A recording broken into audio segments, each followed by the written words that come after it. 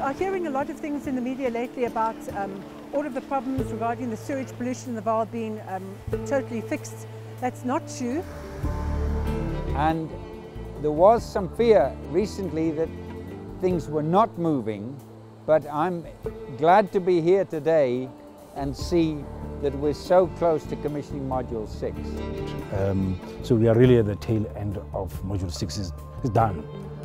It's been a very long, difficult job. We've been there to look at the process, look at the progress that we're making, etc.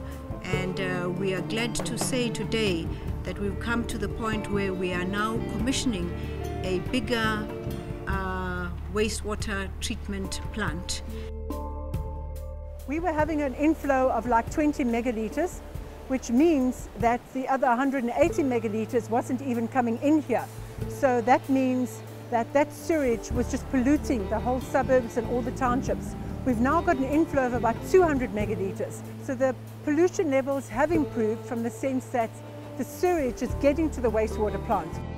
The last touch-ups of the contractor which is working here, they are going to use the Archimedes screw to allow the water to get inside.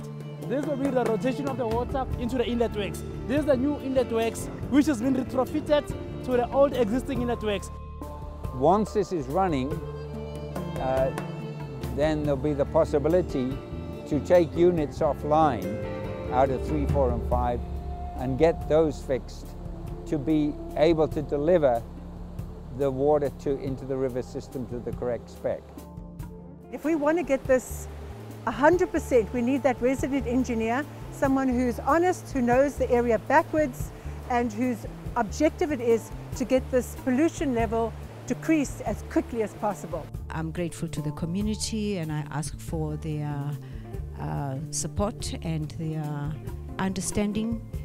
And the Minister will continue to get our support and, and hope she gets Parliament's support to keep to push this job through to the end.